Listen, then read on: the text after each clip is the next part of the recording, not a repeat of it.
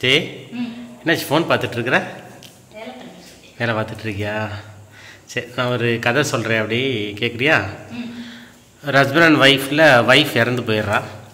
இறந்து போயிட்டு ஒரு ராபிட்டாக அடுத்த ஜென்மத்தில் ராபிட்டாக வரான் ராபிட் ராபிட் ஒய்ஃபு ஹஸ்பண்டை சும்மா விடக்கூடாது சொல்லிட்டு நேராக வரான் ஹஸ்பண்ட் வந்து ஒரு கடை வச்சுருக்கிறான். கறிக்கடை.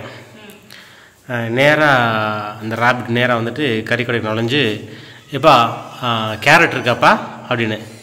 இம்மா கே ராபிடை பார்த்து சொல்கிறேன் என்ன நீ இது வந்து கறிக்கடை ஆ?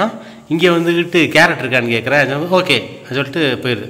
திருப்பி அடுத்த நாள் வருது நேராக கதவை தட்டி இப்போ கேரட் இருக்கா? இது க கறிக்கடை பார்த்தா தெரியலையா? நான் கறி வெட்டிகிட்டு இருக்கிறேன். நெக்ஸ்ட் டைம் வந்தேன்னா உனக்கு கொண்டே போடுவேன். அப்படின்னு. மூணாவது நாள் அதே மாதிரி உள்ளே வருது. வந்துட்டு கேட்குது கேரட் இருக்கா? அப்படின்னு. நெக்ஸ்ட் டைம் வந்த கொண்டே போடுவேன். சரியா? அவ்வளோதான் இது என்ன கடை? கறி கடை. ஆ அடுத்த தடவை வந்தேன்னு வச்சுக்கோ. அப்படியே ஆணி எடுத்து உன் காதை நங்கு நங்குன்னு அடித்து காதில் ஓட்ட போட்டு விட்டுறேன் புரியுதா? அப்படின்னு சொல்கிறான் திருப்பி நாலாவது நாள் அஞ்சாவது நாள் ஆறாவது நாள் வரல. அவன் ரிலாக்ஸ் அப்பா இந்த டார்ச்சர் இல்லைடா சாமி. ஏழாவது நாள் திரும்பவும் அந்த ராபிட் உள்ளே வருது.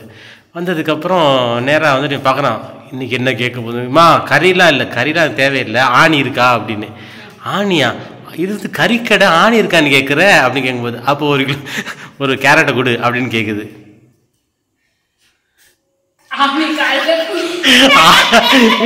ஆணிதான் இல்லை இல்லை அப்போ கேரட்டை கொடுன்னு கேட்குது அவன் என்ன பாடுபடுத்துறமா நீ என்னைய?